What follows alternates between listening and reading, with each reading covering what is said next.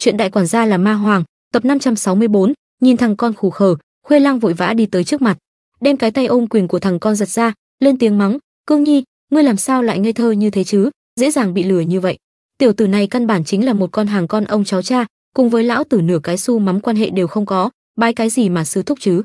Cha bịp ở bên cạnh thờ ơ nhún vai, thì tính cái quần què gì, lão tử theo ngươi xưng huynh gọi đệ, chính là phúc phận tổ tông tám đời nhà ngươi tích đức.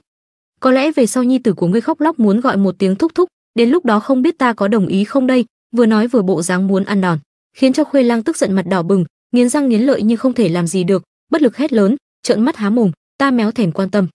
Lúc này, thằng con của Khuê Lang cũng rất hiếu kỳ, phụ thân, nếu là sư huynh đệ cùng với phụ thân, vì sao lại nhiều lần trêu chọc, mà phụ thân đều có thể nhịn xuống. Điều này thực sự kỳ quái, nghe Khuê Cương nói, vẻ mặt Khuê Lang nghệt ra, bởi vì chỉ có tạp dịch phòng biết bối cảnh thần bí của chắc bịp. Khuê Lang nhìn bịp ca bước đi, rồi kéo nhẹ thằng con giải thích, nghiêm túc gian dạy, "Cương Nhi, ngươi phải cẩn thận. Tiểu tử này chính là một tên nhị thế tổ dựa vào vầng hào quang của tổ tông mà trà trộn vào tông môn, con ông cháu cha đích thực, không biết tiến thủ, tầm thường mà thôi. Cho dù sau này có làm trưởng lão chấp sự, thì cũng không có tiền đồ gì cả, ngươi không được cùng với hắn trà trộn cùng một chỗ, chậm trễ tiền đồ của ngươi. Ngày sau ngươi có thành tựu, nhất định ở phía trên hắn." Lúc này Nguyệt Linh cũng vặn eo đi về phía Nguyệt Nhi đang ngây ngốc nhìn chắc bịp. Bỗng dưng trở thành phản diện cho hai con hàng này giáo huấn tiểu bối, bất quá chắc bịp cũng méo thèm để ý chút nào, cười lạnh một tiếng khinh thường. Lão tử con ông cháu cha thì thế nào, các ngươi còn không giống nhau sao? Sử dụng một điểm quyền lực nho nhỏ, cho bọn hắn đặt mua tài liệu luyện công sao? Ừ, mèo mà gà đồng cả mà thôi. Người tư tâm vô cùng vô tận, có quyền lực, tự nhiên muốn làm việc riêng, không phải như vậy thì muốn quyền lực để làm gì? Các ngươi hiện tại khinh bỉ ta, con ông cháu cha, trong lòng mình thì làm sao không muốn trở thành con ông cháu cha sao? Đến đâu cũng có thể hô mưa gọi gió, từng lời nói vang lên khiến mặt Nguyệt Linh càng trở nên âm trầm. Tất cả mọi người đều là ma đạo tu giả, thanh cao cái quần què gì, hướng con sói vẫy đuôi à? Khuê Lang nghe là toàn thân run rẩy tức giận, răng nghiến ken két. Hắn gào cái mõm lên chảy cối, "Hừ, ngươi cưỡng từ đoạt lý, Nguyệt Nhi cùng Cương Nhi đều là tư chất không tệ, lại có thừa chăm chỉ. Tấn thăng nội môn, chuyện đương nhiên, chắc như bắp, chúng ta bất quá tận sức khả năng giúp chúng một chút mà thôi. Nào có giống cái loại con ông cháu cha như ngươi, cả ngày ăn không rồi chờ đi đắp chiếu, không nghĩ tới, liền vũ kỹ cũng không luyện, chỉ ỷ vào tu vi cao mới có thể ở tại bên trong chiến trường tu la tồn tại." Khuê Lang lớn tiếng mắng chửi, chủ yếu là muốn tranh giành lại một chút điểm thể diện khi bị nói chúng tim đen mà thôi. Nhìn hắn, khóe miệng chắc bịp khẽ nhếch lên cười khinh thường. Khuê Lang thì vẫn tiếp tục gào mõm lên, ngươi nếu tiếp tục như thế, chỉ sợ không chờ được đến lúc người kia đưa ngươi ra khỏi tạp dịch phong, thì đã đi bán muối ở chiến trường tu la rồi. Chắc bịp nhắm mắt bĩu môi khinh thường, cười nhạo, đúng là thế hệ hạn hẹp, suy nghĩ nông cạn, vũ khí bất quá chỉ là vật ngoại thân, cũng không phải là ý nghĩa chân chính của tu luyện, ta mặc dù không tu vũ kỹ, nhưng chính là tu tâm, tâm chính là dung thân của đại đạo. Đạt được tâm cảnh thông suốt, chính là tự nhiên khai minh thông khiếu, tăng cao tu vi, vũ kỹ công pháp đốn ngộ, đây chính là gốc rễ của tu luyện. Các ngươi quá chú trọng võ dũng, chính là bỏ gốc lấy ngọn, mới thật sự là buồn cười. Nghe hắn nói, những người ở hiện trường đều mở to ánh mắt. Khuê Lang trong mắt kinh ngạc nhìn, Viên lão thì con hàng này thần bí, có lẽ cũng hiểu rõ nhất những gì mà Trác Bịp múa mỏ. Khuê Lang sau một chút suy nghĩ, con ngươi bấn loạn, hét lớn, "Trác Phàm, ngươi, ngươi nói cái quần què gì vậy? Ta nghe méo hiểu gì cả." Ta không hiểu một từ nào cả, Khuê Lang gãi đầu gãi tai, khiến cho Viên lão đầu ngã chồng vó, đúng là đầu óc ngu si tứ chi phát triển mà, ở bên cạnh Nguyệt Nhi bịt miệng cố gắng ngăn nụ cười. Viên lão lắc đầu cười khổ, trong lòng thở dài, đệ tử bản tông từ trước đến nay tranh cường háo thắng, trọng võ mà khinh đạo. Giống với cái thần chiếu cao thủ như Khuê Lang này, thậm chí ngay cả bờ của đại đạo cũng không mò tới, thực sự khiến cho người ta phải thở dài ngao ngán mà. Cứ tiếp tục như thế, Ma Sách Tông dù cho có niên đại 10 triệu năm, cũng như cũ khó thoát khỏi vận rủi hạ Tam Tông. Ngược lại cái con hàng trác phàm này, đến từ thế tục, nhưng đối với tu tâm luyện đạo thể ngộ lại là thâm khả bất chắc, làm cho người ta phải hoảng sợ. Kẻ này nếu như có thể đi đầu, thay đổi cái quan điểm thượng võ khinh đạo của tông môn, vậy thì ngược lại chính là một đại công tích tạo phúc cho tông môn trong tương lai. Ánh mắt Viên lão tràn ngập tinh quang, âm thầm suy nghĩ. Đột nhiên lúc này, một giọng nói kiều mị chơi chọc vang lên trong lúc đám tạp dịch đang ngây ngốc. Ồ, có chuyện gì náo nhiệt như vậy? Ánh mắt Trác Bịp cũng khẽ híp lại, mặc dù không có nhìn người tới là ai, nghe âm thanh cũng đã biết rồi. Chỉ thấy một cô ẻm ăn mặc sặc sỡ, váy xẻ đến nách, khoe bộ eo thon cùng với bộ loa độ của mình, đang cười nói đi tới, đệ tử của tạp dịch phòng không có làm việc mà tập hợp ở một chỗ này làm cái gì hả? Cô nàng chẳng chút kiêng dè, thả đôi chân ngọc của mình lướt đi trong đám tạp dịch, đám đệ tử tầm thường nhìn cô ẻm thì nuốt nước bọt lên hồi. Chắc phàm nhìn cô ẻm âm trầm, cái con hàng này tuy rằng ba vòng này nở, quần áo lẳng lơ, tuy rằng là vưu vật, nhưng đồng dạng cũng là một con mãnh thú.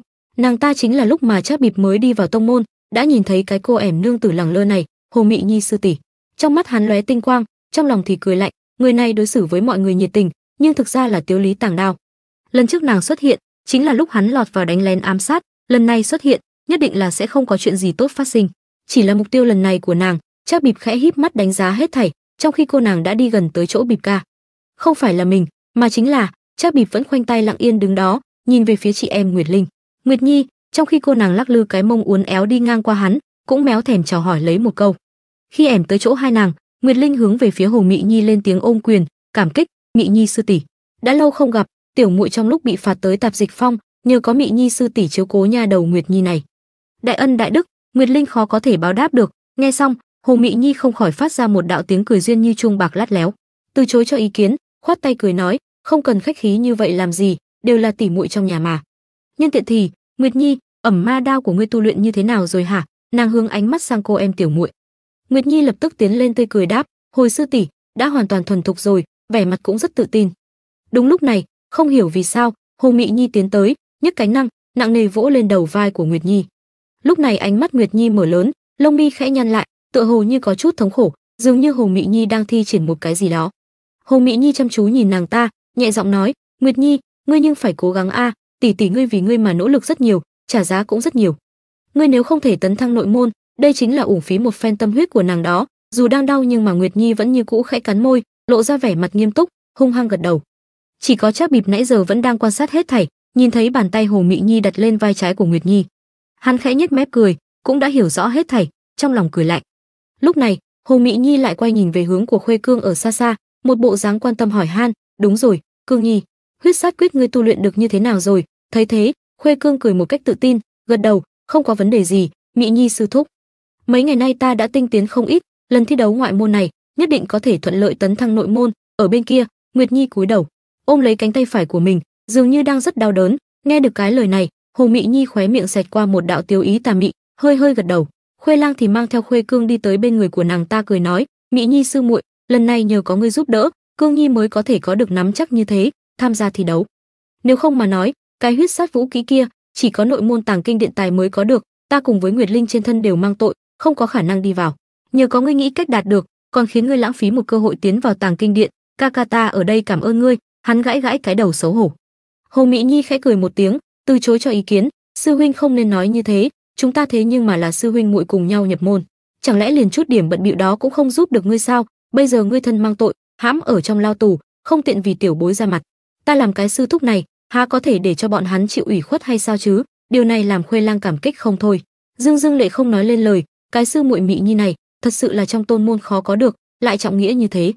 Lúc này, Hồ Mỹ Nhi móc từ giữa khe đồi núi của nàng, "Đúng rồi, Cương Nhi, chỗ này của ta còn có một khỏa ngũ phẩm đan hoàn, huyết linh đan." Trong tay của nàng ta xuất hiện một viên đan dược màu đồng, ẻm giải thích, "Ngươi nếu như trong lúc thi đấu cảm thấy lực bất tòng tâm, thì lúc đó nuốt khỏa đan hoàn này vào. Cam đoan ngươi sẽ sinh long hổ mãnh, cùng với huyết sát quyết của ngươi phối hợp, công lục có thể trực tiếp để thăng gấp hai gấp ba lần có thừa, xem như sư thúc ta, lại giúp ngươi một lần nữa đi." Hồ Mỹ Nhi cười nói tự nhiên, đem đan dược đưa lên, Khuê Cương tiếp nhận, kích động hai tay run rẩy, nhìn về phía Hồ mỹ Nhi tràn đầy cảm kích.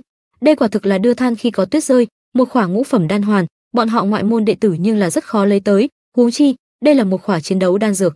Kể từ đó, hắn đừng nói tấn thăng nội môn, coi như cầm xuống ngoại môn thi đấu đầu danh, trở thành trọng điểm bồi dưỡng đệ tử của nội môn, cũng không phải là không được a. À, Khuê Lang nhìn lấy đây hết thảy, càng là kích động nói không ra lời, bờ môi run rẩy nói, mỹ Nhi, ngươi đối với Cương Nhi quan tâm, thật giống hệt mẹ nó." Điều này làm vẻ mặt Hồ mỹ Nhi đỏ ửng lên, ngượng ngùng trách mắng Khuê Lang, "Sư huynh, ngươi nói mò cái gì vậy hả?" Sau đó, Hồ mỹ Nhi lên cười khúc khích quay mông rời đi, "Được rồi, sư huynh sư muội, các ngươi hãy nhanh làm việc chuẩn bị cái võ đài đi. Ta sẽ không quấy rầy nữa, miễn cho công trình chậm trễ, khiến cho các ngươi bị chấp sự của tông môn trách mắng.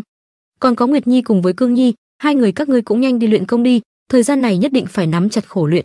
Đừng cứ suốt ngày dính ở bên người phụ thân cùng tỷ tỷ các ngươi, giống như một đám tiểu hài tử chưa trưởng thành. Ha ha ha."